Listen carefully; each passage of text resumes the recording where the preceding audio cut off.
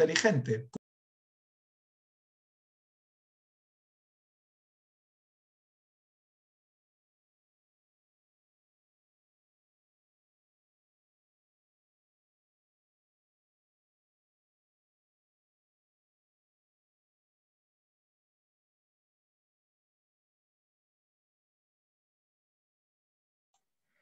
Muy bien, entonces estamos de vuelta ya en la, en la segunda sesión, ¿cierto?, de este eh, día de entrenamiento que está enmarcado dentro del proyecto LALA. Y para continuar, para esta segunda charla, nos acompaña el doctor Ronald Pérez Álvarez, que nos contará sobre la adopción y adaptación de herramientas de analítica del aprendizaje en Latinoamérica. El doctor Ronald, perdón, Ronald es profesor adjunto eh, e investigador en la Universidad de Costa Rica él tiene un, eh, eh, un doctorado en conciencia de la computación en la Pontificia Universidad Católica de Chile y sus intereses de eh, investigación tienen que ver con los MOOCs o los cursos online abiertos y masivos, la autorregulación y el diseño de dashboard. Por lo tanto, ahora vamos a dejar al, a Ronald para que presente la experiencia que ha tenido con la herramienta en la Universidad Católica de Chile. Adelante, Ronald, por favor, gracias por tu presentación. Gracias, Cristian. Muy buenos días eh, a todos y muy buenos días a todas. Eh, voy a compartirles la pantalla de la presentación. Eh, como decía Cristian, pues yo, como parte del proyecto LALA, estuve realizando una experiencia de aprendizaje en grupo con el conjunto de, de profesores, y compañeros que estaban trabajando también este proyecto en la Universidad Católica de Chile, donde desarrollamos una herramienta de analítica de aprendizaje dirigida principalmente a apoyar estudiantes en los cursos masivos en línea, o los cursos MOOC.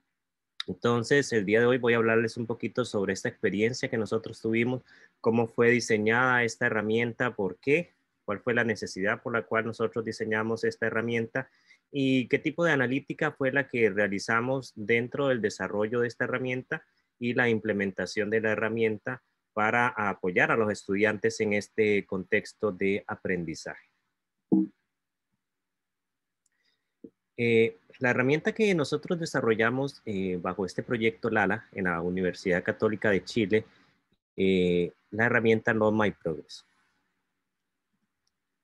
¿Por qué surgió esta herramienta principalmente? Desde el 2015, a partir del 2015, en la Pontificia Universidad Católica se desarrolló una iniciativa de empezar a crear MOOCs en la plataforma de Coursera. Entonces, a partir del 2015 se empezaron a crear alrededor de unos eh, dos o tres MOOCs.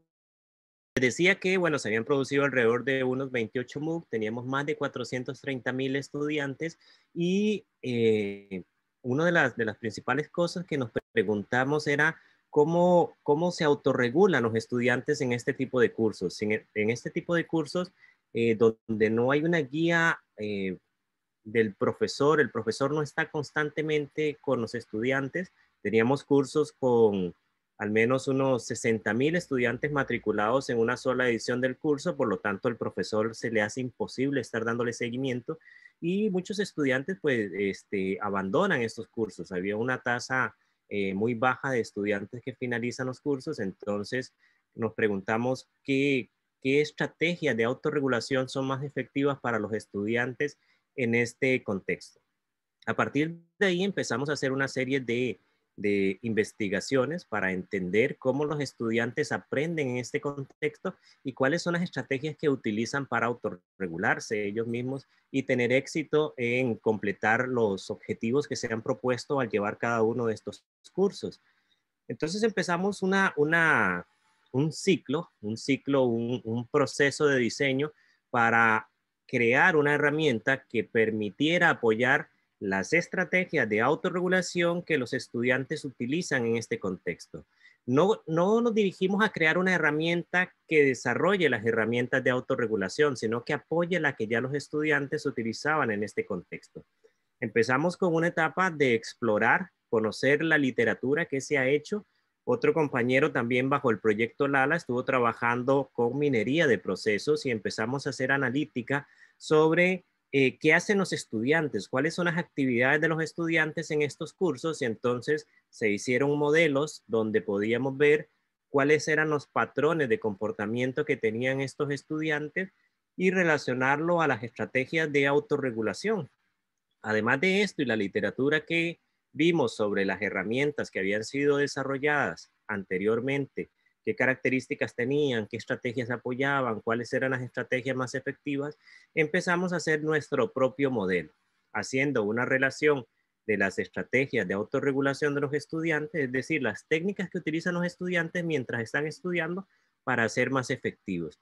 Entre estas estrategias, por ejemplo, está lo que es la planificación del tiempo, la planificación de las estrategias, la definición de metas, eh, eh, la organización, como por ejemplo tomar notas, y empezamos a desarrollar estas características que habían sido efectivas para los estudiantes dentro de la herramienta. Se crearon varios pilotos de esta herramienta, varias secuencias, varias versiones de la herramienta en diferentes casos de estudio. Ah, utilizamos tres casos de estudio diferentes. En el primero evaluamos la usabilidad y la utilidad de la herramienta. Luego, qué tanto adoptaban de la herramienta, principalmente qué características de la herramienta adoptaban más los estudiantes. Y luego, qué impacto tenía esta herramienta principalmente sobre el engagement o el, compromiso que tenían los estudiantes con las actividades que se estaban desarrollando dentro del curso. Entonces, después de todo este proceso, surgió nuestra herramienta No My Progress. Esta herramienta lo que trata de soportar principalmente son estas estrategias como el manejo del tiempo, la definición de, metas, la planificación estratégica para alcanzar estas metas, la organización y el automonitoreo con una serie de visualizaciones que le permiten a los estudiantes saber qué están haciendo en el curso y principalmente cómo lo están haciendo, qué tan efectivos están siendo en este curso. Promover esta autoconciencia a los estudiantes de cómo están aprendiendo y este, definimos una estructura después que nos, nos permitiera migrar hacia otras plataformas, poder utilizarla no solo en Coursera, que fue donde inició el desarrollo de esta herramienta, sino que poder trasladarla hacia otras plataformas, como por ejemplo la plataforma de Moodle. Esta herramienta No My Progress tiene como dos componentes principales. El primer componente es un plugin. Este plugin eh, trabaja para Google Chrome y es el que acompaña a los estudiantes mientras están realizando las actividades dentro de la plataforma Coursera. Entonces, Acá se le hace una sola visualización y después en otra componente que tiene que ser el Dartboard, hay un conjunto de alrededor de unas 18 visualizaciones diferentes que le ayudan al estudiante a ver qué estaba haciendo. Acá en esta visualización tomábamos dos factores, el tiempo efectivo que era realizando actividades dentro de la plataforma Coursera y el de procrastinación era cuando se salía y visitaba otros sitios y este tipo de cosas y estaba fuera de las actividades de Coursera. También le permitía tomar notas.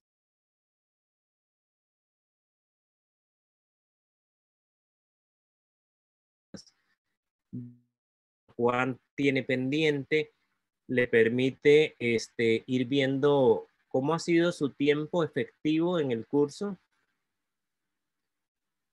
eh, cómo ha sido su tiempo efectivo en el curso, cuántas sesiones ha tenido, qué días está conectando a la plataforma, cuántas actividades inicia, cuántas completa, y ir haciendo esa comparación para que el estudiante pueda ir viendo cuántas actividades de los diferentes tipos de actividades ha interactuado y cuánto tiempo ha invertido en cada una, para también ir sondeando a qué le estoy invirtiendo más tiempo dentro de las actividades del curso.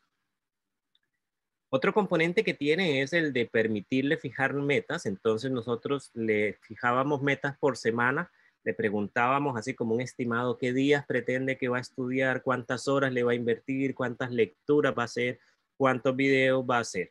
Y después le permitíamos ver un gráfico que, que era cómo había alcanzado estas metas, en realidad cuántas lecturas se había fijado, cuántas había visto y ese tipo de cosas para que pudiera ir monitoreando cómo iba avanzando en las metas que se había propuesto en el curso.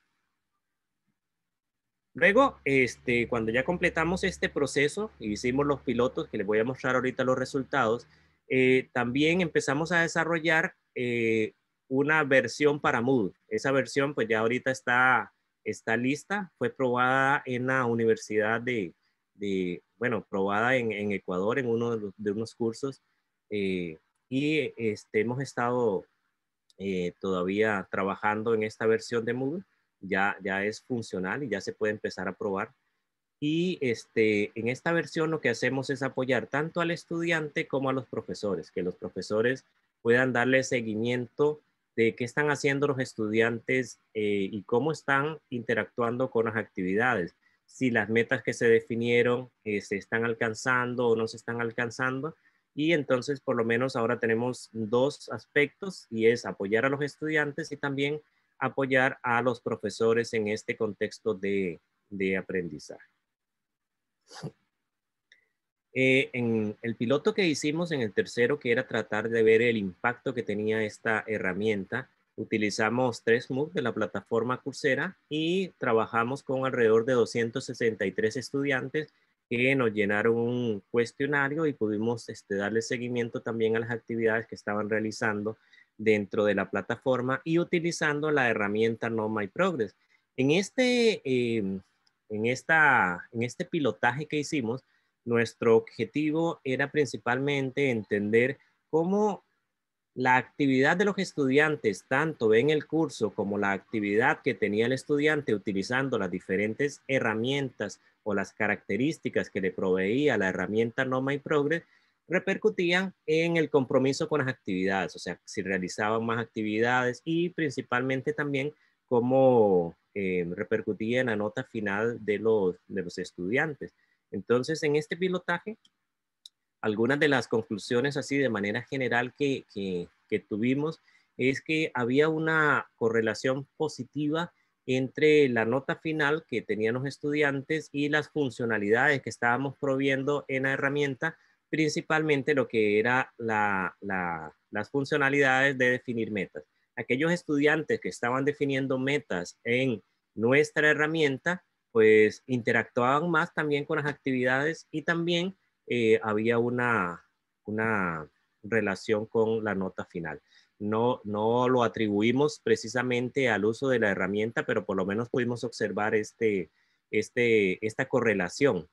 Y también con eh, tomar notas. Y otro componente que teníamos era la comparación social, que lo que pretendía era ver cómo iban avanzando mis compañeros del curso con respecto a cómo iba avanzando yo con las actividades del curso, o sea, con cuántos videos estaban interactuando mis compañeros, cuánto tiempo le estaban invirtiendo, cuánto tiempo estaba invirtiendo yo y cuánto tiempo, cuántas actividades también estaba participando.